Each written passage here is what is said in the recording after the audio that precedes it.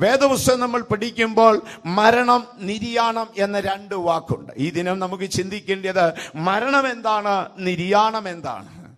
മരണം എന്ന വാക്കിന്റെ ഗ്രീക്ക് വാക്ക് മാമത്ത് എന്നൊരു വാക്കാണ്. മരണം മാമത്ത്. മനുഷ്യന്റെ ശരീരത്തിൽ നിന്ന് ആത്മാവ് വിട പറഞ്ഞ് എന്നേക്കുമായി യാത്ര ചെയ്യുന്നതിനായിരുന്നു പ്രകൃതിയുടെ നിത്യപ്രതിഭാസമായ ആ പ്രതിഭാസത്തിനായിരുന്നു മരണം അല്ലെങ്കിൽ മാമത്ത് എന്ന വാക്ക് പറയുന്നത്. ഒരു മനുഷ്യൻ അവന്റെ ജീവിതത്തിൽ ഇപ്പോൾ നമുക്ക് എല്ലാ കാര്യങ്ങളും കൂടെ അറിയാൻ ഒത്തില്ലെങ്കിലും ജീവിത നിത്യതയിലേക്കുള്ള ജീവിത യാത്രക്കാരെ നമ്മൾ അറിഞ്ഞിരിക്കേണ്ട ചില ആത്മീയ നഗ്നസത്യങ്ങളുണ്ട്. കർത്താവായ യേശു ഭൂമിയിൽ ഇരിക്കുമ്പോൾ ഒരു നാൾ ശമരിയ പട്ടണത്തിൽ ഒരു സ്ത്രീയോട് സംസാരിക്കുമ്പോൾ യേശു ഒരു വാക്ക് പറഞ്ഞ സ്ത്രീയെ നീ ആരാണെന്നും നിന്നോട് വെള്ളം ചോദിക്കുന്ന ഞാൻ ആരാണെന്നും നീ ഒന്ന് അറിഞ്ഞിരുന്നെങ്കിൽ കൊള്ളാമായിരുന്നു. ആ സ്ത്രീക്ക് ഒരുപാട് അറിവുണ്ട്. നീ ഒരു യഹൂദനാണെന്ന് ആദ്യം പറഞ്ഞു. കാരണം എന്ത് മഷികായുടെ വസ്ത്രധാരണ കണ്ടപ്പോൾ അങ്ങ് ഒരു യഹൂദനാണെന്ന് പറഞ്ഞു. അധികം വൈ മുമ്പ് അവളുടെ ജീവിതത്തിലെ മറയപ്പെട്ട ആ ചിത്രത്തിന്റെ ആ ചുരുൾ അഴിച്ചു കാണി കാണിച്ചപ്പോൾ അവൾ പറഞ്ഞു അയ്യോ അങ്ങേ ഒരു പ്രവാചകനാണ്. ആദ്യത്തെ അറിവ് ജൂതൻ എന്നാണ് രണ്ടാമത്തെ അറിവ് പ്രവാചകനാണെന്ന്. വീണ്ടും അവൾ പറഞ്ഞു യഹൂദന്മാർക്കിടയിൽ നിന്നാണ് രക്ഷ വരുന്നെന്ന് ഞങ്ങൾ കേട്ടിട്ടുണ്ട്. അതിനപ്പുറം ആ കാണപ്പെടുന്ന കിണർ യാക്കോബ് ആയിരത്തഞ്ഞൂറ് വർഷം മുമ്പ് തന്റെ മകനായി ജോസഫിന് കൊടുത്ത് പാരമ്പര്യമായി ഞങ്ങൾ അതിൽ നിന്ന് വെള്ളം കുടിക്കുന്നതാണ്. ആ മല കണ്ടില്ലേ? ആ മലയിലാണ് ഞങ്ങളുടെ പിതാക്കന്മാർ പ്രാർത്ഥിച്ചുകൊണ്ടിരിക്കുന്നത്. ഒരുപാട് കാര്യം അറിയാം പക്ഷെ യേശു പറഞ്ഞത് ഇതൊന്നും അറിയണമെന്നില്ല. നീ ആരാണെന്നും ഞാൻ ആരാണെന്നും നീ അത്യാവശ്യം ഒന്ന് അറിഞ്ഞിരിക്കണം. അപ്പൊ നമ്മുടെ ആത്മീയ ജീവിതത്തിൽ എല്ലാറ്റിന്റെയും ആഴങ്ങൾ അറിയാൻ ഒത്തില്ലെങ്കിലും നാം ആരാണെന്നും ദൈവം ആരാണെന്നും ഒന്ന് അറിഞ്ഞിരുന്നാൽ ജീവിതം വളരെ സുരക്ഷിതമാകും. ദൈവം അനുവദിച്ചാൽ പിന്നീട് നമുക്കത് ചിന്തിക്കാം. അപ്പോൾ മരണം എന്ന ആ പ്രതിഭാസം ഇന്ന് ലോകത്തിൽ സർവസാധാരണമാണ്. ഒരു ദിവസം അഞ്ച് ലക്ഷത്തി അറുപത്തിനാലായിരം പേർ സെക്കൻഡിൽ മൂന്ന് പേര് വീതം ഇങ്ങനെ മരണം വഴിയായി ലോകത്തിൽ നിന്ന് വിട പറയുകയാണ്. ഈ മനോഹരമായ ഭൂമി ഒരു വലിയ ആളുകൾക്ക് വന്ന് പാർക്കുവാൻ പറ്റിയ ഒരു വഴിയമ്പലമാണ്. ആയിരക്കണക്കിന് ആളുകൾ ഭൂമിയിലേക്ക് വരുമ്പോൾ ആയിരക്കണക്കിന് ആളുകൾ ഭൂമിയിൽ നിന്ന് പോയിക്കൊണ്ടേയിരിക്കുകയാണ്. ഭൂമി ആയിരം ആയിരം വർഷങ്ങളായി നിത്യസാക്ഷിയായി നിൽക്കുകയാണ്. ദൈവത്തിന് മഹത്വം ഉണ്ടാകട്ടെ പൗലോസ് എന്റെ ഞാൻ മരിക്കുന്നു എന്നല്ല പറഞ്ഞത്. എന്റെ നിര്യാണ കാലം അടുത്തു. നമ്മളാരും മരിപ്പാൻ വന്നവരല്ല. നമ്മുടെ അവസാനം നിര്യാണമായിരിക്കട്ടെ. ഈ നിര്യാണം എന്ന ആ ലാറ്റിൻ വാക്കിന്റെ പശ്ചാത്തലം നാം നോക്കുമ്പോൾ അതിന് നാല് വശങ്ങളായിട്ടാണ് തിരിച്ചിരിക്കുന്നത്. ഒന്ന് ഒരു പക്ഷി കൂടുകെട്ടി. മനോഹരമായ ഒരു കൂട് കെട്ടി അതിൽ മുട്ടയിട്ട് അതിനടയിരുന്ന് കുഞ്ഞുങ്ങൾ വിരിച്ച് അതിന്റെ തൂവലുകൾ വളർന്ന് അത് പറക്ക പറ്റി ഈ കൂട് ഉപേക്ഷിച്ച് ആകാശത്തിലേക്ക് പറന്നു പോകുന്നതിന് അക്കാലത്തെ ലാറ്റിൻ വാക്ക് നിര്യാണം എന്നായിരുന്നു.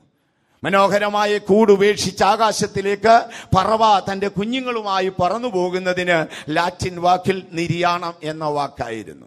രണ്ടാമതായി നാം നോക്കിയാൽ പകലന്തിയോളം ജോലി ചെയ്ത ഒരു മൃഗം നുഖത്തിന്റെ കീഴിൽ അവൻ യജമാനനെ സേവിച്ച് സന്ധ്യാസമയത്ത് അവന്റെ നുഖം അഴിച്ച് അവനെ തൊഴുത്തിൽ കൊണ്ടുപോയി വിശ്രാമം കൊടുക്കുവാൻ അവന്റെ നുഖം അഴിക്കുന്നതിന് അക്കാലത്തെ ലാറ്റിൻ വാക്ക് നിര്യാണം എന്നായിരുന്നു. വീണ്ടും അടുത്ത ഭാഗത്തേക്ക് നാം നോക്കിയാൽ ദീർഘവർഷം ഒരു റോമൻ സൈനികനായിരുന്ന യുദ്ധസേവ ചെയ്ത ശേഷം നിയമിക്കപ്പെട്ട കാലം കഴിയുമ്പോൾ ഈ യുദ്ധ ഫീൽഡ് വിട്ടവൻ റിട്ടയർമെന്റ് ആയി പോകുന്നതിന് അക്കാലത്തെ ലാറ്റിൻ വാക്കായിരുന്നു നിര്യാണം. അതിലുപരിയായി ഒരു കപ്പൽ യാത്രക്കാരൻ ഓളങ്ങളും തിരമാലകളും നിറഞ്ഞ ഈ മഹാസമുദ്രത്തിൽ യാത്ര ചെയ്ത് ലക്ഷ്യസ്ഥാനത്തെത്തുമ്പോൾ അവൻ യാത്ര ചെയ്ത കപ്പൽ ഒരു തുറമുഖത്ത് കെട്ടിയ ശേഷം അവൻ തന്റെ ഗ്രാമത്തിലേക്ക് പോകുമ്പോൾ അന്ന് ഉപയോഗിച്ചിരുന്ന വാക്ക് നിര്യാണമെന്നായിരുന്നു. പൗലോസ്ലിയ പറയുന്നു എന്റെ നിര്യാണ കാലം അടുത്തു. കൂട് വിട്ട് ഞാൻ പറക്കേണ്ടിയിരിക്കുന്നു. മുഖം വിട്ട് ഞാൻ അഴിയേണ്ടിയിരിക്കുന്നു. യുദ്ധസേവ വിട്ട് മടങ്ങിപ്പോകേണ്ടിയിരിക്കുന്നു. എന്റെ എന്റെ കപ്പൽ ആഗ്രഹിച്ച തുറമുഖത്ത് പോയി ചേർന്നു. എന്റെ വിശ്വാസ കപ്പൽ പൂർണതയിലെത്തി. ഞാൻ എന്റെ റെസ്റ്റിലേക്ക് പോവുകയാണ് ഇതുകൊണ്ടാണ് ഈ വാക്കെടുത്ത് എഴുതിയിരിക്കുന്നത്. മകനെ തീമത്യോസേ എന്റെ നിര്യാണ കാലം അടുത്തു എന്ന് ഞാൻ അറിയുന്നു. ഈ പൗലോസിരിയുടെ ചരിത്ര പശ്ചാത്തലത്തിലേക്ക് വീണ്ടും നമുക്ക് വരാം.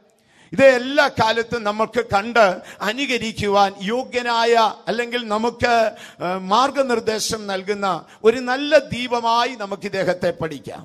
അപ്പോൾ അദ്ദേഹം പറഞ്ഞ വാക്ക് അവസാന നാളുകളാണ്. എ ഡി അറുപത്തിയെട്ടിൽ തനിക്ക് നേരെ വധശിക്ഷ റോമൻ കൈസർ കൽപ്പിച്ച ശേഷം ആ വധശിക്ഷയുടെ നാളുകൾ അറിയുകയും തന്റെ കഴുത്തറുക്കുവാനുള്ള വാൾ മൂർച്ചേറി അല്ലെങ്കിൽ അരം കൊണ്ട് ഒരയ്ക്കുന്ന ശബ്ദം കാതുകളിൽ കേട്ട ശേഷം തലേ രാത്രികളിൽ എഴുതപ്പെട്ടെന്നാണ് ചരിത്രകാരന്മാർ പറയുന്നത്.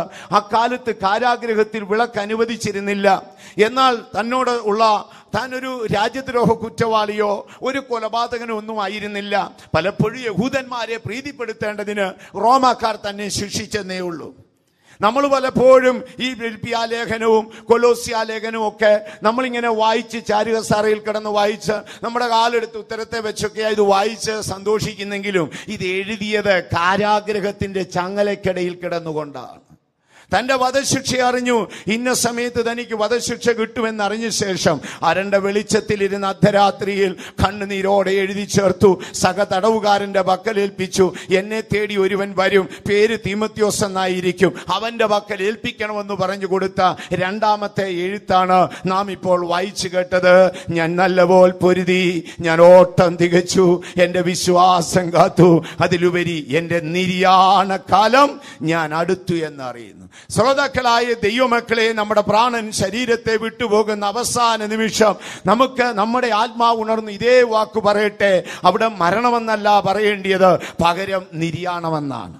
ഇനി ഈ മനുഷ്യന്റെ ജീവിതാവസ്ഥകൾ നമ്മളൊന്ന് പഠിച്ചാൽ ഇദ്ദേഹം റോമർക്ക് ലേഖനം എഴുതുമ്പോൾ തന്റെ പ്രാരംഭ നാളുകളായിരുന്നു റോമാ ലേഖനം അതിൽ വായിച്ചാൽ നമുക്ക് അത്ഭുതം തോന്നിപ്പോകും. തന്റെ അവസ്ഥയെക്കുറിച്ച് താൻ എഴുതിയിരിക്കുകയാണ് അയ്യോ ഞാൻ ഒരു അരിഷ്ട മനുഷ്യൻ. ഇങ്ങനല്ലേ റോമാ ലേഖനത്തിൽ വരുമ്പോൾ അദ്ദേഹം തന്നെ കുറിച്ച് എഴുതിയിരിക്കുകയാണ് അയ്യോ ഞാൻ ഒരു അരിഷ്ട മനുഷ്യൻ. നന്മ ചെയ്യാൻ ആഗ്രഹമുണ്ടെങ്കിലും ഇച്ഛിക്കാത്ത തിന്മ ചെയ്യുന്നു എന്ന് പറഞ്ഞ് വളരെ വലിയ വേദനയിൽ കരയുന്ന ഒരു ഭാഗം നമുക്ക് കാണാം. കുറെ കാലം കഴിഞ്ഞ് കൊരിന്തിയർക്ക് ലേഖനം എഴുതിയപ്പോൾ താൻ പറയാണ് സഹോദരന്മാരെ ഞാൻ നിങ്ങളോട് പ്രസംഗിച്ച ശേഷം ഞാൻ തന്നെ കൊള്ളരുതാത്തവനായി പോകുമോ എന്ന് ഭയപ്പെട്ട് ഞാൻ എന്റെ ശരീരത്തെ ദണ്ണിപ്പിച്ച് അടിമപ്പെടുത്തും. അക്കാലത്തെ ഗ്രീക്കിലെയും ബുദ്ധ മഹർഷിമാരൊക്കെ ചെയ്തതുപോലെ ഒരു വിശുദ്ധ ജീവിതത്തിനായി താൻ തന്നെത്താൻ ദണ്ണിപ്പിച്ചെന്നാണ് തന്നെ കുറിച്ച് എഴുതിയിരിക്കുന്നത്. കാലങ്ങൾ പലത് കഴിഞ്ഞ ശേഷം ഫിലിപ്പിയർക്ക് ലേഖനം എഴുതുമ്പോൾ താൻ ഒരു വാക്കെഴുതിയിരിക്കുന്നത് ഇങ്ങനെയാണ്. സഹോദരന്മാരെ ലഭിച്ചെന്നോ പൂർണനായോ എന്നല്ല ഞാൻ ക്രിസ്തുവിനാൽ പിടിക്കപ്പെട്ടിരിക്കൊണ്ട് എനിക്ക് അവനെ പിടിക്കാമോ എന്ന് വെച്ച് ഞാൻ ഓടിക്കൊണ്ടിരിക്കുന്നു. കാലങ്ങൾ പലത് കഴിഞ്ഞു മരണനാൾ അടുത്തപ്പോൾ ഏതാണ്ട് യജമാനനെ മുപ്പത്തിമൂന്ന് വർഷത്തോളം സേവിച്ച് യജമാനു വേണ്ടി രാപ്പകൽ കഠിനാധ്വാനം ചെയ്ത് യജമാനന്റെ ഹിതം ആരാഞ്ഞറിഞ്ഞ് അവന്റെ പരിശുദ്ധ നടത്താൽ വീണ്ടെടുക്കപ്പെട്ട സഭയുടെ പൂർണതയ്ക്ക് വേണ്ടി സകലതും ത്യജിച്ച് ത്യാഗവീരനായവൻ തന്റെ അവസാന നാളുകളിൽ എഴുതുമ്പോൾ അരിഷ്ടന്റെ നിലവിളിയല്ല.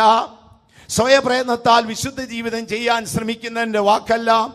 പ്രതീക്ഷയോടെ ഓടുന്നവന്റെ വാക്കല്ല. പകരം യുദ്ധകളത്തിൽ ശത്രുവിനെ കീഴടക്കി യജമാനനെ പരമാർത്ഥതയോടെ സേവിച്ച ഒരു യോദ്ധാവിന്റെ ശബ്ദമാണ് ഞാൻ നല്ല നല്ലപോൽ പൊരുതി. ഞാൻ ഓട്ടം തികച്ചു. ഞാൻ വിശ്വാസം കാത്തു. ആ നീതിയുടെ കിരീടം എനിക്കായി വെച്ചിരിക്കുന്നു. ഈ ശുശ്രൂഷകരെ നമുക്കുടെ മുൻഗാമികളായ ആയിരുന്ന അദ്ദേഹത്തിന്റെ ജീവിതാവസ്ഥയുടെ മനോഹരമായൊരു ചിത്രം തന്നെ ലേഖനത്തിൽ നമുക്ക് കാണാം.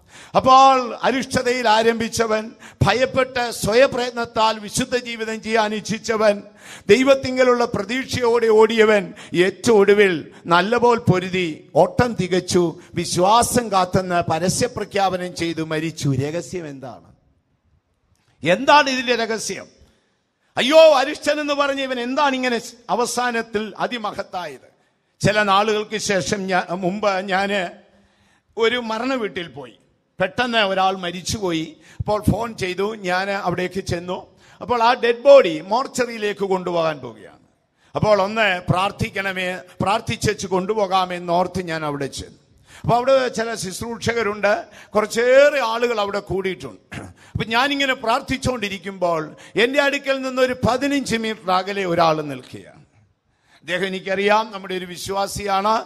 പക്ഷേ പുള്ളി ആത്മീയത്തിൽ വളരെ പിന്നിൽ ലോകം ലോകത്തിന്റെ വീക്ഷണത്തിൽ സഹ വിശ്വാസികളുടെ വീക്ഷണത്തിലൊക്കെ അദ്ദേഹം വലിയ ആത്മീയനൊന്നുമല്ല. അവിടെ ഒരുപാട് ശുശ്രൂഷകരൊക്കെ ഉണ്ട്. ഞാൻ സ്വോത്രം ചെയ്ത ശേഷം എന്റെ ആത്മാവ് പറഞ്ഞു അദ്ദേഹത്തോട് അങ്ങ് പ്രാർത്ഥിക്കാൻ പറയാം അപ്പം ഞാൻ പെട്ടെന്ന് കൈകൊട്ടി ഇനി വന്നാട്ടെ എന്ന് പറഞ്ഞു. ഒരു വാക്ക് പ്രാർത്ഥിച്ചാട്ടെ എന്ന് പറഞ്ഞു. ആദ്യം അദ്ദേഹം ഒന്ന് ഞെട്ടി സത്യം. ഓർക്കാപ്പുറത്തല്ലേ? വാസുമാരൊക്കെ നിൽക്കെ പിന്നെ എന്തോ എന്തിനാ എന്നോട് പറ? എന്നോട് ആത്മാവ് പറഞ്ഞു അവനോടൊന്ന് പ്രാർത്ഥിക്കാൻ പറഞ്ഞു ഞാൻ ഇങ്ങോട്ട് എടുക്കുന്നു സാറേ ഒരു വാക്കൊന്ന് പ്രാർത്ഥിച്ചു.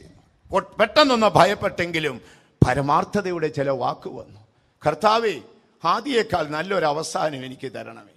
ആ ആരംഭത്തിലെ ഉത്സാഹവും ആ ആരംഭത്തിലെ പരമാർത്ഥതയും ആ ആരംഭത്തിലെ മനസാക്ഷിയും തന്നെ ഹടിയന്റെ ആത്മാവും ശരീരവും തമ്മിൽ വേർപിരിയാൻ എന്നെ അനുവദിക്കാവൂ.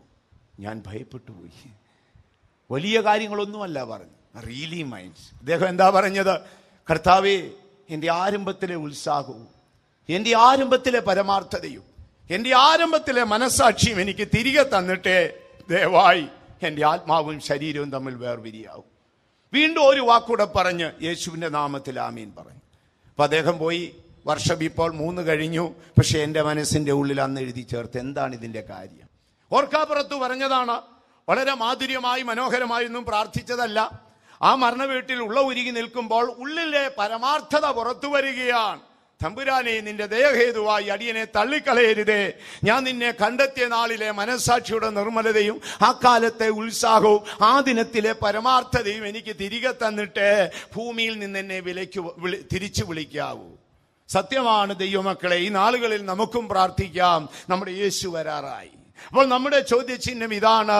അയ്യോ ഞാൻ അരിഷ്ടൻ എന്ന് വിളിച്ചു കരഞ്ഞവൻ സ്വയപ്രയത്നത്താൽ വിശുദ്ധ ജീവിതം ചെയ്യാൻ ആഗ്രഹിച്ചവൻ പ്രതീക്ഷയോടെ ഓടിയവൻ ഒരു യോദ്ധാവെന്നോണം അലറി അവന്റെ പ്രതിയോഗിയായ പിശാജ് അവന്റെ മുൻപിൽ കീഴടങ്ങി അവൻ മസികായിക്ക് വേണ്ടി രക്തസാക്ഷിയായി മരിച്ചല്ലോ. രഹസ്യം എന്താ അരിഷ്ടതയിൽ ആരംഭിച്ചവൻ പരാക്രമിയായി അവസാനിക്കാനുണ്ടായ രഹസ്യം എന്താണ് വേദപുസ്തകത്തിന്റെ ആഴത്തിൽ വരുമ്പോൾ തന്റെ ചില ലേഖനങ്ങളിൽ അവയുടെ ചില രഹസ്യങ്ങൾ മറിഞ്ഞു കിടപ്പുണ്ട്.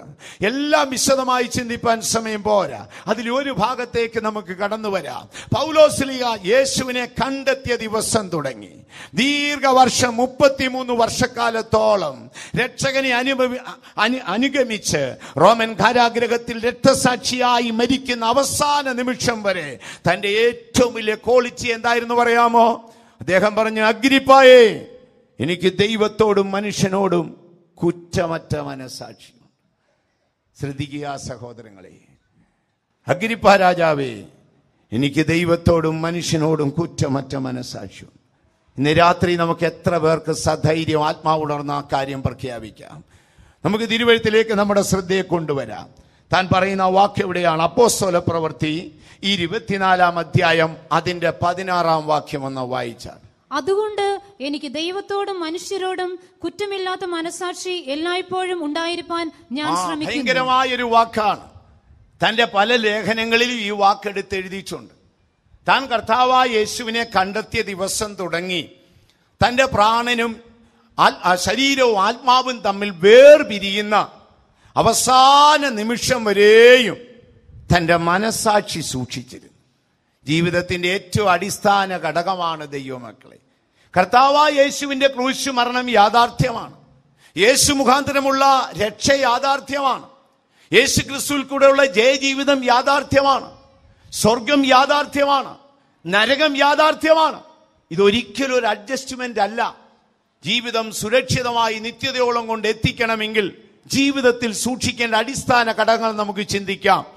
അതിലൊന്ന് അഗ്രിപ്പായെ എനിക്ക് ദൈവത്തോടും മനുഷ്യനോടും കുറ്റമറ്റ മനസാക്ഷിയുണ്ട് സ്വന്തം ആത്മാവിനെ നിലനിർത്തി ഇന്ന് രാത്രിയിൽ നമുക്ക് എത്ര പേർക്ക് പറയാൻ കഴിയും? ഇവിടെ കൂടി വന്നിരിക്കുന്നതിൽ ഒരു തൊണ്ണൂറ്റിയഞ്ച് ശതമാനവും കർത്താവായ യേശുവിനെ അനുഗമിച്ച് അവന്റെ രക്തത്തിലും മാംസത്തിലും പങ്കാളികളായി വിശുദ്ധന്മാരുടെ സഹപ്രവർത്തകരും വിശുദ്ധന്മാരോടുകൂടെ വന്നു ചേർന്നിട്ടുള്ളവരുമാണ് ഞാൻ നിങ്ങളോട് ചോദിക്കട്ടെ ഈ രാത്രിയിൽ അദ്ദേഹത്തെ പോലെ ഒരു പ്രഖ്യാപനം നമുക്ക് നടത്താനൊക്കും. എന്താണ് ഈ മനസാക്ഷി ദൈവത്തോടും മനുഷ്യനോടും എനിക്ക് കുറ്റമറ്റ മനസാക്ഷിയുണ്ട് ബൈബിളിന്റെ ആഴങ്ങൾ നമ്മൾ പഠിച്ചു വരുമ്പോൾ ഈ മനസാക്ഷി എന്നതിനെ രണ്ടായിട്ട് നമുക്ക് തിരിക്കാം. എല്ലാം വിശദമായിട്ടൊന്നും ചിന്തിപ്പാൻ സമയം പോരാ. എനിക്കതിനെക്കുറിച്ച് ആഴമായിട്ട് അറിഞ്ഞുകൂടാ. അപ്പോൾ എനിക്കറിയുള്ള കാര്യം ഞാൻ നിങ്ങളോട് പറയാം. അപ്പൊ ഈ മനസാക്ഷി എന്ന വിഷയത്തെ നമുക്ക് രണ്ട് ഭാഗമായി തിരിക്കാം. ഒന്ന് മനസാക്ഷി ഒരു കാലഘട്ടത്തിന്റെ പ്രമാണമായിരുന്നു. പാപം ചെയ്ത് പർദീസ നഷ്ടപ്പെട്ട ശാപയോഗ്യനായ മനുഷ്യൻ ദൈവത്തെ വിട്ടുപോകുമ്പോൾ ദൈവം അവന്റെ മനസ്സിൽ കൊളുത്തിക്കൊടുത്ത ദൈവമാണ് മനസാക്ഷി ജ്ഞാനിയായ ശലോമൻ പറയുകയാണ് മനുഷ്യന്റെ ഉള്ളിൽ നീ ഒരു ദീപം കൊളുത്തി കൊടുത്തല്ലോ അത് ആര്യനായാലും ദ്രാവിഡനായാലും ആണായാലും പെണ്ണായാലും സ്ഥിരബുദ്ധിയുള്ള ധനവാനും ദരിദ്രനും എല്ലാം ബാധകമായൊരു വിഷയമാണ് ഈ മനസാക്ഷി എന്ന് പറയുന്നത്. മനസാക്ഷി ഇല്ലാത്തവരുണ്ടോ? ചില ദാരുണമായ സംഭവങ്ങളൊക്കെ വായിക്കുമ്പോൾ മറ്റുള്ളവർ പറയില്ലേ അവൻ മനസാക്ഷി ഇല്ലാതാണല്ലോ അത് ചെയ്തത്. അപ്പോൾ ക്രൈസ്തവർക്കെന്നോ ഇസ്ലാമിയനെന്നോ ഹൈന്ദവനെന്നോ പാർസിക്കെന്നോ ബുദ്ധനെന്നോ ആര്യനെന്നോ ദ്രാവിഡനെന്നോ ഒന്നും വ്യത്യാസമില്ല. മനുഷ്യ മനുഭൂമിയിൽ വന്ന് ജനിച്ച സകല മനുഷ്യർക്കുമുള്ള ഒന്നാണ് ഈ മനസാക്ഷി മനസാക്ഷി ഒരു ദീപമാണ് ദൈവമക്കളെ. പാപം ചെയ്ത് പരദീസ നഷ്ടപ്പെട്ട ശാപേനോ യോഗ്യനായ മനുഷ്യനെ അപ്പാടെ തള്ളിക്കളയാതെ നീതിമാനായ ദൈവം മനുഷ്യനെ തേടി ഏതനെന്ന മനോഹര പരദീസയിൽ വരുമ്പോൾ അവന് നാല് കാര്യം കൊടുത്തു. ഒന്ന് ആദാമേ ആദാമേ നീ എവിടെ നിന്ന്? ചോദിച്ചപ്പോൾ ഞാൻ നഗ്നനാണെന്ന് പറഞ്ഞു. മനുഷ്യന്റെ നഗ്നതയാണ് ദൈവത്തിങ്കലേക്ക് അടുത്തു വരുവാൻ തടസ്സമെന്ന് കണ്ടപ്പോൾ ഹോവയായ ദൈവം തോലുകൊണ്ട് മനുഷ്യൻ അവൻ മനുഷ്യനും അവന്റെ ഭാര്യയായ ഹൗവായിക്കും ഉടുപ്പുണ്ടാക്കി കൊടുത്തു. ഒന്നാമത് രണ്ടാമതായി മനുഷ്യൻ ദൈവത്തെ വിട്ടുപോകുമ്പോൾ മുള്ളും പറക്കാരിയും കിളിർത്ത ഭൂമിയിലേക്ക് മനുഷ്യനും നിത്യവറുദീശയിലേക്ക് ദൈവം പോകുമ്പോൾ വ്യാകുലപ്പെട്ട മനസ്സോടെ ആദാം തിരിഞ്ഞു നോക്കി. ദൈവം പറഞ്ഞു സ്ത്രീയുടെ സന്തതി സർപ്പത്തിന്റെ തലയെ തകർക്കും. കാലസമ്പൂർണതയിൽ മാനകുലത്തിന്റെ രക്ഷയ്ക്ക് വേണ്ടി സ്വർഗത്തിന്റെ മഹിമ വിട്ടുവന്ന് പ്രതിയോഗിയായ പിശാജിനെ ക്രൂശിൽ കീഴടക്കി മാനവരാശിക്ക് വിടുതൽ കൊടുക്കുന്ന മഷികായുടെ മനുഷ്യാവതാരം കണ്ടിട്ടാണ് പിതാവായ ദൈവം പറഞ്ഞു സ്ത്രീയുടെ സന്തതി സർപ്പത്തിന്റെ തലയെ തകർക്കും.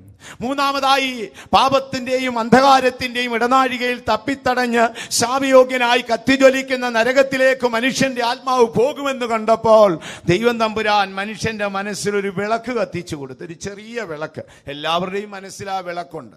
നമ്മളത് ഊതിക്കെടുത്താതിരുന്നാൽ മതി. ആകാശ വിളക്ക് ഊതിക്കെടുത്തിയെന്ന് എഴുതിയേക്കുന്ന പോലെ മനസാക്ഷി കെടുത്തിക്കളയാതിരുന്നാൽ മതി. മനസാക്ഷിക്ക് വലിയ പ്രാധാന്യം കൊടുക്കും. ഭാരതത്തിലെ പുരാതന വേദങ്ങളും ഭാരതത്തിലെ പുരാതന മഹർഷിമാരെയൊക്കെ പഠിച്ചാൽ അവർ ഏറ്റവും പ്രാധാന്യം കൊടുത്തിരുന്നതും മനസാക്ഷിക്കാണ് ദൈവമക്കളെ. മാനുഷ്യ പ്രമാണങ്ങളെ പറയുമ്പോൾ രണ്ടായിട്ടാണ്. അതിൽ ജ്ഞാനമാർഗത്തിന്റെ ഒരു ഭാഗമാണ് ഈ മനസാക്ഷി. നമുക്ക് ചിന്തിക്കാം. അപ്പോൾ മനസാക്ഷി എന്ന് പറയുന്നത് ഒരു പ്രമാണമാണ്. രണ്ടായിരത്തി അഞ്ഞൂറ് വർഷം ഭൂമിയിൽ മനസാക്ഷിയുടെ പ്രമാണമാണ്. ആദാം പാപം ചെയ്ത് പർദീസ നഷ്ടപ്പെട്ട നാൾ തുടങ്ങി. ഇസ്രായേൽ മിസ്രൈമിൽ നിന്ന് രക്ഷപ്പെട്ട് കനാൻ എന്ന മനോഹര ദേശത്തേക്ക് യാത്ര ചെയ്യുമ്പോൾ സീനായി മലയുടെ അടിവാരത്തിൽ ഇസ്രായേൽ പാളയമടിച്ച് ഇരുപത്തിരണ്ട് മൈൽ ചുറ്റളവിൽ ഇരുപത്തിയാറ് ലക്ഷം ജനം പാളയമടിച്ചു കിടക്കുമ്പോൾ അവരുടെ നടത്തിപ്പുകാരനായ മോശ പർവതത്തിൽ കയറിപ്പോയി. അവിടെ വെച്ച് ദൈവം രണ്ട് കൽപ്പലയിൽ പ്രമാണം എഴുതി കൊടുത്തു. ന്യായപ്രമാണ യുഗം അവിടെ ആരംഭിച്ചു. അപ്പോൾ ഈ ന്യായപ്രമാണം ലഭിക്കുന്നതിനും ആദാം പുറത്താക്കപ്പെടുന്നതിനും ഇടിവിൽ. ഏറെക്കുറെ രണ്ടായിരത്തി അഞ്ഞൂറ് വർഷമാണ് ഇതിന് മനസാക്ഷിയുടെ യുഗമെന്നാണ് പറയുന്നത്. മനസാക്ഷിയുടെ യുഗം. മുൻഗാമികളായ വാസ്തുമാരെന്നൊക്കെ നമ്മളത് പഠിച്ചിട്ടുണ്ട്. മനസാക്ഷിയുടെ യുഗം ഇത് രണ്ടായിരത്തി അഞ്ഞൂറ് വർഷമാണ്. ഈ മനസാക്ഷികത്തിലെ സംഭവ ചരിത്രങ്ങൾ വ്യക്തമായി എഴുതിയതാണ് ഉൽപ്പത്തി പുസ്തകം. മനസാക്ഷികത്തിൽ ജീവിച്ച അനേക നീതിമാന്മാരെ കാണാം. ഹാബേൽ മനസാക്ഷികത്തിലെ നീതിമാനാണ്. ഹാനോക്ക് മനസാക്ഷികത്തിലെ നീതിമാനാണ്. നോഹ മനസാക്ഷികത്തിലെ നീതിമാനാണ്. ഇയോബ് മനസാക്ഷികത്തിലെ നീതിമാനാണ്. അബ്രഹാം മനസാക്ഷികത്തിലെ നീതിമാനാണ്. ഇസഹാക്ക് മനസാക്ഷികത്തിലെ നീതിമാനാണ്. യാക്കോബ് മനസാക്ഷികത്തിലെ നീതിമാനാണ്. യാക്കോബിന്റെ സന്തതികൾ മനസാക്ഷികത്തിലെ നീതിമാനാണ്. ജോസഫ് മനസാക്ഷികത്തിലെ നീതിമാനാണ്. മോശ മനസ്സാക്ഷിയുഗത്തിൽ ജനിച്ചു ന്യായപ്രമാണ യുഗത്തിൽ മരിച്ച വിശുദ്ധനാണ്. അപ്പോൾ ലോകത്തെ ദൈവം തമ്പുരാൻ ഭൂമിക്ക് നിയമിക്ക നിയമിച്ചു കൊടുത്ത കാലയളവിൽ ഒരു ഭാഗമാണ് മനസാക്ഷിയുടെ യുഗം. വർഷം രണ്ടായിരത്തി അഞ്ഞൂറ് രണ്ടായിരത്തി അഞ്ഞൂറ് വർഷക്കാലം അത് മനസാക്ഷിയുടെ യുഗമാണ്. അബ്രഹാം മനസാക്ഷിയുഗത്തിലെ വിശുദ്ധനാണ്. അന്ന് എഴുതപ്പെട്ട പ്രമാണമോ നിയമിച്ചു കൊടുത്ത കൽപ്പനയൊന്നുമില്ല. മനസാക്ഷി പറയുന്നതിനെ അടിസ്ഥാനപ്പെടുത്തിയാണ് ജീവിച്ചത്. യോബ് മനസാക്ഷിയുഗത്തിലെ നീതിമാനാണ്. യോബിന്റെ ചില മനസാക്ഷിയുടെ പ്രമാണങ്ങൾ ഏറ്റുപറയുന്നത് കേട്ടാൽ കൃവായുഗത്തിലെ വിശുദ്ധരായ നാം പോലും ലജ്ജിച്ചു പോകും. താൻ ജീവിച്ചത് മനസാക്ഷികത്തിലാണ് മനസാക്ഷിയെ നിലനിർത്തിയാണ് യോവ് പറഞ്ഞത്. അനാഥന് അംശം കൊടുക്കാതെ ഞാൻ കഴിച്ചിട്ടില്ല. ഞാൻ സാധുവിന്റെ നേരെ കയ്യോങ്ങിട്ടില്ല. തെരുവിൽ ദരിദ്രൻ ഇരിക്കുന്ന കണ്ടിട്ട് അവന്റെ കുളിർ മാറുവാൻ എന്റെ കമ്പിളി കൊടുക്കാതെ ഇരുന്നിട്ടില്ല. എന്റെ കൈ എന്റെ നേരെ കൈ നീട്ടി അവനോട് പോടാ എന്ന് പറഞ്ഞ് ഞാൻ കയ്യോങ്ങിയിട്ടില്ല. ഇതെല്ലാം ഞാൻ സമ്പാദിച്ചെന്ന് പറഞ്ഞ് എന്റെ കൈയെ ചുംബിച്ചിട്ടില്ല. ചന്ദ്രൻ ഗമിക്കുന്നതോ സൂര്യൻ ഉദിക്കുന്നതോ കണ്ട് എന്റെ ഹൃദയത്തിൽ ദോഷം നിരൂപിച്ചിട്ടില്ല. ഞാൻ മോഹത്തോടെ ഒരു സ്ത്രീയെ നോക്കിയിട്ടില്ല. കാലഘട്ടം എപ്പോഴാണെന്ന് ഓർമ്മയിൽ വെച്ചാട്ട് അത് മനസാക്ഷിയുടെ യുഗമായിരുന്നു. അപ്പൊ മനസാക്ഷി ഒരു പ്രത്യേക കാലഘട്ടത്തിൽ ദൈവം കൊടുത്ത പ്രമാണമാണ്. ഇനി അന്തിമ ന്യായവിധിയുടെ നാളിലും മനസാക്ഷിയുണ്ട് അന്തിമ ന്യായവിധിയെ നോക്കിക്കൊണ്ട് പൗലോസ് പറഞ്ഞു അവരുടെ മനസാക്ഷി തന്നെ അവർക്കൊരു പ്രമാണമാണ്. ന്യായപ്രമാണം ലഭിച്ച ഇസ്രായേലിനെ ന്യായപ്രമാണം കൊണ്ടും സുവിശേഷം കേട്ട ക്രൈസ്തവനെ സുവിശേഷത്തിന്റെ സത്യം കൊണ്ടും ഇവ രണ്ടും അറിയാത്ത പുറംജാതികയെ അവന്റെ മനസ്സാക്ഷി വെച്ച് ന്യായം വിധിക്കുമെന്നാണ് റോമാലേഖനത്തിൽ എഴുതിയിരിക്കുന്നത്. അപ്പോൾ അക്കാലത്തും ഇക്കാലത്തും ഏതൊരു കാലത്തും പ്രാധാന്യമുള്ള ഒരു വലിയ വിഷയം തന്നെയാണ് മനസാക്ഷി അപ്പോൾ ശ്രദ്ധിക്കുക സഹോദരങ്ങളെ മനസാക്ഷിയുടെ ഒരു കാലഘട്ടമുണ്ട്. അത് രണ്ടായിരത്തി അഞ്ഞൂറ് വർഷം. രണ്ടാമത് ഈ മനസാക്ഷി ഒരു ദീപമാണെന്ന് ഞാൻ പറഞ്ഞു. നമുക്ക് എല്ലാവർക്കും മനസാക്ഷിയുണ്ട് ആ മനസാക്ഷി ഒരു ദീപമാണ്. ആ മനസാക്ഷി തെളിയും. തെളിയുന്ന ഉടനെ എന്ത് സംഭവിക്കും? ആ മനസാക്ഷി എന്ന ദൈവത്തിന്റെ അരണ്ട വെളിച്ചത്തിൽ നിന്ന് നീതിമാനായ ദൈവത്തെയും അവന്റെ നീതിയുള്ള സിംഹാസനത്തെയും അവന്റെ നീതിയുള്ള വിധിയെയും വിധിക്കപ്പുറം നീതിമാന്മാരുടെ പരദീശയും ദുഷ്ടന്മാരുടെ യാതനാ സ്ഥലവും നമുക്ക് കാണാം. കാണാൻ വയ്യാന്നൊന്നും പറയാനൊക്കത്തില്ല. പതിനായിരം പേര് കൂടി നിങ്ങളോടൊരു കാര്യം നല്ലതാണെന്ന് പറഞ്ഞാലും മനസാക്ഷി തെറ്റാന്ന് പറഞ്ഞാൽ തെറ്റാണ്. കേരളക്കരയെ വളരെ നെടുക്കിയിട്ടുള്ള ഭീകരവാദങ്ങളുടെ ഒരു ഭാഗമായ നക്സൽ വർഗീസിനെ വെടിയേറ്റു മരിച്ചു. വർഷങ്ങൾക്ക് മുൻപേ നക്സൽ വർഗീസ് വെടിവെച്ചു വെടിയേറ്റു മരിച്ചു. വെടിയേറ്റു മരിച്ചു. അന്ന് ലോകം പറഞ്ഞു പോലീസുമായി ഏറ്റുമുട്ടി വർഗീസ് വെടിയേറ്റു മരിച്ചെന്നല്ലേ? ലോകം അങ്ങനെയല്ലേ അറിഞ്ഞത്. മുപ്പത്തിരണ്ടോളം വർഷത്തിന് ശേഷം ആ വെടിവെച്ചു കൊന്ന പോലീസുകാരൻ രാത്രിയുടെ യാമങ്ങൾ ഉറങ്ങാതെ അവന്റെ മനസാക്ഷി രാപ്പകൽ വിധിച്ചിട്ട് അവൻ ഒടുവിൽ പോയി. അവിടെ എറണാകുളം പോലീസ് സ്റ്റേഷനിൽ പോയി. അല്ല കോടതിയിൽ പോയി. അവൻ സമ്മതിച്ചു. എന്റെ മേലുദ്യോഗസ്ഥന്റെ നിർദ്ദേശപ്രകാരം ഉറങ്ങിക്കിടന്ന വർഗീസിന്റെ കണ്ണ് കെട്ടി കൈ പുറകിലേക്ക് കെട്ടി ചോദിച്ചപ്പോൾ അല്പം കഞ്ഞിവെള്ളം കുടിക്കാൻ കൊടുത്തിട്ട് നെഞ്ചോട് ചേർത്ത് വെച്ച് ഞാൻ വെടിവെച്ച് കൊന്നതാണെന്ന് അവൻ പറഞ്ഞു. പേപ്പറുകാരി ചോദിച്ച് എന്തിനാണ് സാറേ ഇത് പറയുന്നത്? അന്ന് തുടങ്ങി ഇന്ന് വരെ ഞാൻ ഉറങ്ങിയിട്ടില്ല. രാത്രിയിൽ വീടി വലിച്ചും കടുങ്കാപ്പി കുടിച്ചും ഞാൻ എന്റെ ഉള്ളം വറക്കിയാണ് ഞാൻ ഭൂമിയിൽ ശിക്ഷ അനുഭവിച്ചു. മരിച്ചില്ലെങ്കിൽ ഞാൻ മരിക്കും. ഒരു നായർ പശ്ചാത്തലത്തിലുള്ള ഒരു ഹൈന്ദവ പോലീസ് ഉദ്യോഗസ്ഥൻ പറഞ്ഞതാണ് അവന്റെ മനസാക്ഷി പറയുന്നത്. നിങ്ങളൊന്ന് ആലോചിച്ചാട്ടെ ഞാൻ എറണാകുളത്തിരിക്കുമ്പോൾ ഹൈക്കോടതിയിലെ ഒരു ജഡ്ജി ഒരിക്കൽ അവിടെ ആ ഒരു പാലത്തിൽ നിന്ന് ചാടി കടലിൽ ചാടി മരിച്ചുപോയി. വളരെ കോളുകളൊക്കെ ഉണ്ടാക്കിയ ഒരു സംഭവമായിരുന്നു. താൻ രാവിലെ ക്ഷേത്രത്തിൽ പോയി നമസ്കാര നമസ്കരിച്ച് മടങ്ങി വരുമ്പോൾ ആ പാലത്തിൽ നിന്ന് കായലിലേക്ക് ചാടി കുത്തനെ ഒഴുക്കിലേക്ക് ആൾ പോയി. തന്നെ കണ്ടില്ല എന്ന് പറഞ്ഞ് പോലീസ് അന്വേഷിച്ചു. അന്വേഷണങ്ങളെല്ലാം കഴിഞ്ഞു. ചില ദിനങ്ങൾക്ക് ശേഷം ഡെഡ് ബോഡി കണ്ടു. തന്റെ മകൻ തന്റെ കയ്യിൽ അണിഞ്ഞിരുന്ന ആ മനോഹരമായ മോതിരം കണ്ടിട്ട് പറഞ്ഞത് എന്റെ അച്ഛനാണ്. ബ്രാഹ്മണ പശ്ചാത്തലമുള്ള മനുഷ്യനാണ്. ഡെഡ് ബോഡി കൊണ്ടുപോയി പോസ്റ്റ്മോർട്ടം ചെയ്തു. അടക്കം കഴിഞ്ഞു. പോലീസ് എന്താണ് ഇതിന്റെ പിന്നിൽ? ഇത്ര വലിയൊരാളെ ആരാണ് കൊന്നത്? ആരാണ് കടലിൽ തള്ളിയത്? സംഭവം അതല്ല. ചില ദിനങ്ങൾക്ക് മുൻപേ കോടതിയിൽ നടന്ന ഒരു വിധിയിൽ കർണ കൂടാതെ നീതി കൂടാതെ സ്വാ- പണത്തിന്റെ സ്വാധീനതയിൽ ഒരു നിരപരാധിയെ ശിക്ഷിക്കുകയും അവൻ അവിടെ നിന്ന് ഹൈക്കോർട്ടിൽ നിന്ന് സുപ്രീം കോടതിയിലേക്ക് പോകാൻ തുനിയാതെ അവനെ സെൻട്രൽ ജയിലിലേക്ക് ചങ്ങല വെച്ച് കൊണ്ടുപോവുകയും ചെയ്യുന്ന കണ്ടപ്പോൾ ഉള്ളം പറിച്ചുപോയി മനസ്സാക്ഷിയുടെ ആക്ഷേപമാണ് സഹോദരങ്ങളെ. മനസ്സാക്ഷിയെക്കുറിച്ച് നമ്മൾ പഠിച്ചാൽ മനസ്സാക്ഷി ഒരു ദൈവമാണ്. ദൈവം നമ്മുടെ മനസ്സിൽ കൊളുത്തി തന്നതാണ്. ആ മനസാക്ഷിയുടെ അരണ്ട വെളിച്ചത്തിൽ കാണരുതോ ദൈവത്തെ? ദൈവത്തെ കാണാം. അവന്റെ നീതിയുള്ള വിധിയെ കാണാം. ദുഷ്ടന്മാരുടെ യാതന സ്ഥലം കാണാം. നീതിമാന്മാരുടെ പരദീശ കാണാം. അതിന് ആര്യനെന്നോ ദ്രാവിഡനെന്നോ ധനവാനെന്നോ കറുത്തവനെന്നോ വെളുത്തവനെന്നോ ആണെന്നോ പെണ്ണെന്നോ വ്യത്യാസമില്ല. മനസാക്ഷി ജീവിതത്തിന്റെ ഏറ്റവും വലിയ മുതൽക്കൂട്ടാണ്. മനസാക്ഷി ഉള്ളിടത്തോളം കാലം നിനക്ക് ആത്മധൈര്യം ഉണ്ടാകും. ആത്മധൈര്യം ഉള്ളിടത്തോളം കാലം നിനക്ക് ഉറപ്പുള്ള വിശ്വാസം ഉണ്ടാകും. ഉറപ്പുള്ള വിശ്വാസം ഉള്ളിടത്തോളം കാലം നിനക്ക് ജീവനുള്ള പ്രത്യാശ ഉണ്ടാകും. മനസാക്ഷി നഷ്ടപ്പെടുമ്പോൾ ആത്മധൈര്യം പോകും. ആത്മധൈര്യം പോകുമ്പോൾ ഉറപ്പുള്ള വിശ്വാസം പോകും. അധികം വൈകി മുമ്പ് ജീവനുള്ള പ്രത്യാശ നഷ്ടപ്പെടും. മരണത്തിന്റെ മണിനാഥം കെട്ട് നിന്റെ പ്രാണൻ വിറയ്ക്കും. ആകിയാൽ സൂക്ഷിക്കുക സഹോദരങ്ങളെ. വിശുദ്ധ പൗലോസ്ലിക പ്രാരംഭ നാൾ തുടങ്ങി മരണനാൾ വരെ തന്റെ മനസാക്ഷിയെ കാത്തിരുന്നു. അപ്പോൾ മനസാക്ഷി ഒരു പ്രമാണമാണ്. രണ്ട് മനസാക്ഷി എന്ന് പറയുന്നത് ഒരു ദീപമാണ്. ഊതിക്കെടുത്തി കളയരുത്. ആ മനസാക്ഷിയുടെ വെളിച്ചത്തിൽ നമുക്ക് ദൈവത്തെ കാണാം. യാത്ര ചെയ്താൽ ആ വെളിച്ചത്തിൽ നമുക്ക് ദൈവത്തിങ്കിലേക്ക് പോകാം.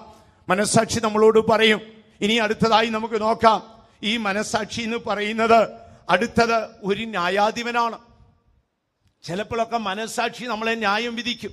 നമ്മൾ പുകഞ്ഞു പോകും നിലനിൽപ്പില്ലാതായി പോകും. മനസാക്ഷി ന്യായാധിപനാണ്. ഒരിക്കൽ യേശുവിന്റെ അടുക്കൽ ഒരു സ്ത്രീയെ കൊണ്ടുവന്നു. ഭാവിയായ ഒരു സ്ത്രീയെ. പരസ്യമായി കല്ലെറിയാൻ യഹൂദന്മാർ കൊണ്ടുവന്നു. ഗുരു മോശ ഞങ്ങൾക്ക് തന്ന പ്രമാണപ്രകാരം ഇവളെ കല്ലെറിയട്ടെ എന്ന് ചോദിച്ചു. മസിയാ തമ്പുരാൻ ആയിരത്തഞ്ഞൂറ് വർഷങ്ങൾക്ക് മുൻപ് തന്റെ കരം കൊണ്ട് എഴുതിയ പ്രമാണം ഭൂമിയിൽ എഴുതി. അതിനുശേഷം ഈ പാപമില്ലാത്തവൻ കല്ലെറിഞ്ഞോളാൻ പറഞ്ഞു. കൂടി വന്ന പുരുഷാർ ഒരു കൂട്ടം കല്ലുമായി വന്നിരിക്കുകയാണ്. അവരെല്ലാം എത്തി വലിഞ്ഞു നോക്കി. മോശയുടെ പ്രമാണമാണ് എഴുതിയിരിക്കുന്നത്. കൊല ചെയ്യരുത് മോഷ്ടിക്കരുത് മോഹിക്കരുത് ദൂക്ഷണം പറയരുത് ശബത്തിനെ ലംഘിക്കരുത് വിഗ്രഹത്തെ ആരാധിക്കരുത്. ഒന്നല്ലെങ്കിൽ മറ്റൊന്നിൽ മനുഷ്യൻ അടിമയാണ്. അവിടെ ഒരു വാക്ക് എഴുതിയിരിക്കുന്നു യോഹന്നാന്റെ സുവിശേഷം എട്ടാം അധ്യായത്തിൽ ഒരു വാക്കുണ്ടല്ലോ അവരുടെ മനസാക്ഷിയുടെ ആക്ഷേപം നിമിത്തം അവരെല്ലാവരും കല്ലിട്ട് പോയി. എറിയാൻ യേശു അനുവാദം കൊടുത്തു. യേശു പറഞ്ഞു എറിഞ്ഞോളാൻ പറഞ്ഞു. യോഹന്നാന്റെ സുവിശേഷത്തിലല്ലേ ആ വാക്ക്? എല്ലാം വായിക്കാൻ സമയം പോരാ. എട്ടാം അധ്യായം ഒൻപതാം വാക്യം. നമുക്ക് സുപരിചിതമായ ഒരു തിരുവെഴുത്താണ്. അപ്പൊ യേശു പറഞ്ഞു എറിഞ്ഞാട്ട്. ഈ പാപമില്ലാത്തവൻ ഇവളെ കല്ലെറിഞ്ഞോളാൻ പറഞ്ഞു. അപ്പൊ എല്ലാവരും എത്തി നോക്കി ഏതു പാപമാണ്? മോശ സീനായി മലയുടെ അടിവാരത്തിൽ ഇസ്രായേൽ കിടക്കുമ്പോൾ മോശയുടെ പക്കൽ കൊടുത്ത പ്രമാണമാണ് യേശു ഭൂമിയിൽ എഴുതിയത്.